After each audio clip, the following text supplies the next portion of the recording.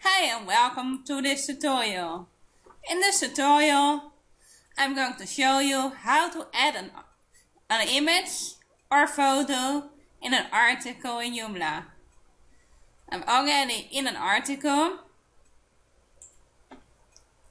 and I'm going to show you how you can add an image to your Joomla installation.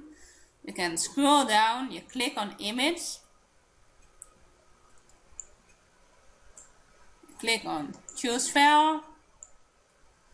For example, you choose the photo Terry. You click on start upload.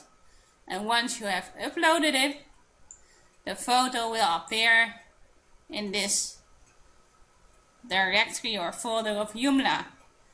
Then I click on the photo, I click on insert and the photo will be shown in your Joomla article.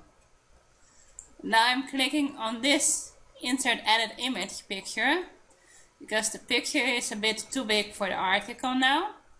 I'm going to change the dimension. And after that, I could also choose a vert vertical and horizontal space for the, for the image or photo. Then I click on OK and now it's not centered like I want so I'm going to align left. And then I'm going to look how it uh, looks like in the website.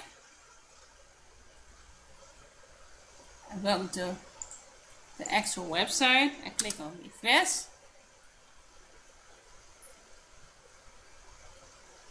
and I like how it looks like now so this is the image I just placed in the website. Now I'm going to another page where I want to replace the image or photo. I'm going to the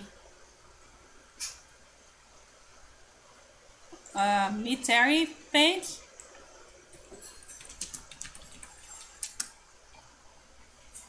There we go to delete this picture.